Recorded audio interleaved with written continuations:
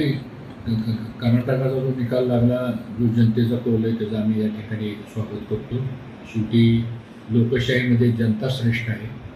तरी परंतु आम्हाला भारतीय जनता पक्षाला तर म्हणजे आमच्या अपेक्षा खूप वेगळ्या होत्या.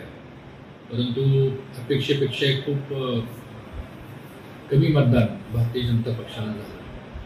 आता याची कारणं काय काय हे कदाचित आमचं सेंट्रल मंडळ किंवा तिथले जे काही प्रदेश कार्यकारिणी आहे त्याचं हे आत्मपरीक्षण करेल. परंतु तिथली काही स्थानिक कारणं त्याला कदाचित असू शकतात. आणि मला असं वाटतं की ठीक आहे हे असा निकाल यायला नव्हता पाहिजे पण तो आलेला आहे. लोकशाहीमध्ये शेवटी मतदार श्रेष्ठ आहे.